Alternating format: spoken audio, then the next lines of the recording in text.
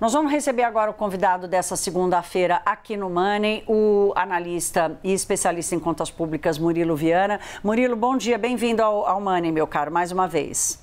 Bom dia, Thaís. É sempre um prazer estar aqui com vocês. Murilo, a crise bancária acabou tomando nosso tempo aqui, mas é super importante te ouvir para essa discussão. É, o que, que você está esperando? É, semana passada, muita gente me perguntou assim: mas o teto de gastos está valendo ou não está valendo? Enquanto o governo não toma decisão sobre a nova regra fiscal, o que, que rege? as contas públicas no Brasil. Queria um pouco a tua avaliação, não só da essência do, do, do, projeto ou da mudança, mas de como ela vai eh, se dar na prática. É, formalmente ela vale. Ah, quando eu falo formalmente é porque enquanto não, não surgiu outra regra que a substitui, ela está valendo. Ela vale com aquele adicional ah, do espaço de gasto é, gerado pela PEC da, da, transição. Quando eu falo formalmente, é porque na prática ah, ela perde a, a, razão de ser de ancoragem de expectativas, uma vez que o mercado já considerou ele basicamente liquidado e espera nova âncora fiscal e sabe que ela vai sair. Agora, o componente da incerteza não combina aí, evidentemente, com, com a, a importância de uma âncora fiscal, de um arcabouço fiscal, que é trazer essa ancoragem de expectativa dos agentes econômicos para uma relação ah, de dívida pública controlada e, portanto, de expansão dos gastos ah, condizentes aí com, com essa estabilidade fiscal. É, a, os bastidores ali dão conta de que há um incômodo muito grande em haver alguma restrição aos gastos, especialmente aos investimentos, nesse primeiro ano, primeiro ano e meio de governo. É, escolher onde pode liberar gasto ou não faz parte dessa nova decisão?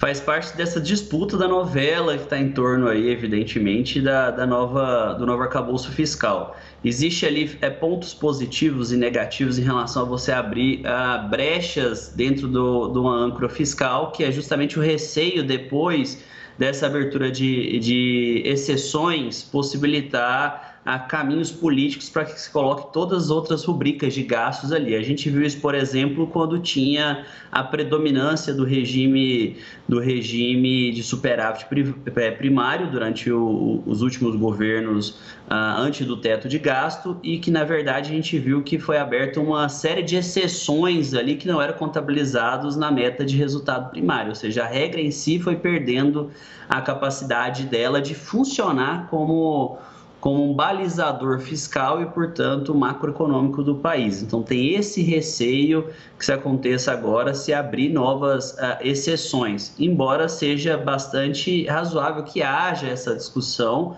para que tenha algum tratamento especial para investimentos e outros tipos de gastos. Isso faz parte da democracia. Vamos ver também como a ala política do próprio PT e a ala política do Congresso vai lidar com isso. Murilo, é, além dessa discussão ali envolvendo uh, os ministérios da Economia, equipe econômica e o Palácio do Planalto, o BNDES promove hoje um evento internacional é, inclusive com a presença aqui do Joseph Stiglitz, que foi prêmio Nobel, com os economistas que foram escolhidos por Aloysio Mercadante, presidente do BNDES, para ajudá-lo é, na condução do BNDES, mas ele promover, vai promover um debate sobre a política fiscal no Brasil e no mundo. Você acha que esse debate, que está completamente externo a, a, ao ambiente onde a formulação da política pública deve e precisa acontecer, inclusive com reconhecimento dessa autoridade, está é, tá faltando diagnóstico sobre o que acontece no Brasil? Cabe um debate desse nesse momento?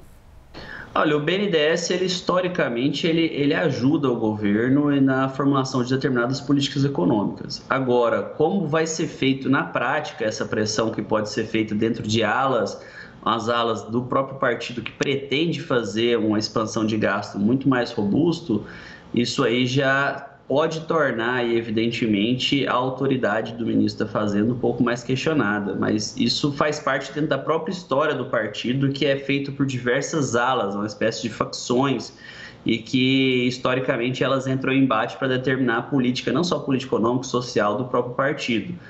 Então vamos ter que ver aí as cenas do, dos próximos capítulos relacionadas também tanto à questão do, da Casa Civil, a questão do BNDES e outras áreas do, do partido que também acabam dialogando e muitas vezes tentando colocar a agenda em relação ao Ministério da Fazenda. É, essa disputa de, de, poder, ela acaba atrapalhando também a essência né, do debate. Murilo Viana, especialista em contas públicas, figura presente aqui no Money, sempre ajudando a gente. Meu caro, boa semana para você, um bom dia.